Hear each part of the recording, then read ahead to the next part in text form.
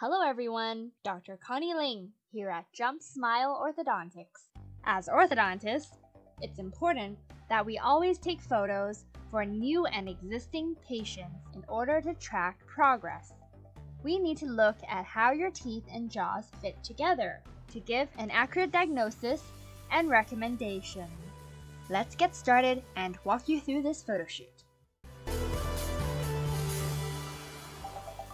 To start off, you'll need two spoons, a smartphone or a laptop with a good camera, and somebody to take pictures. If you don't have the help, you can set a self-timer. You may also use a tripod for levels and angles. For best results, make sure you have proper lighting. Face the window or use a flashlight. Test your camera and make sure it's in focus. When you're ready, position yourself by sitting up straight. Tuck your hair away. Now you're ready to take your first three headshots. Take the photos at three positions. At the front, at 45 degrees, and 90 degrees on the side. Next, take close-ups of your teeth biting together. For the front, gently insert a spoon on each cheek as shown. Relax your face and bite down.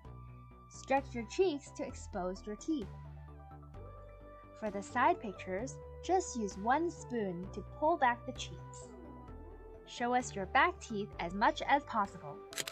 It's optional to use your other finger to keep the lips out of the picture. And repeat for the other side. Now for the dental arches. You need two spoons to pull away the lip. For the upper jaw, tilt your head all the way back. Place your spoons at each corner of your lips. Nostril hair trimming is optional. Our goal is to capture the U shape of your teeth. Repeat for the bottom jaw. Tilt your chin down and open wide. Keep your tongue out of the picture.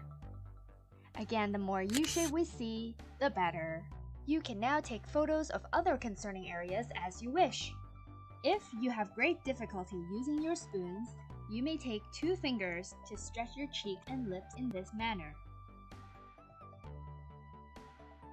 Just a reminder, while photos are important, they do not replace scans and x-rays at the clinic.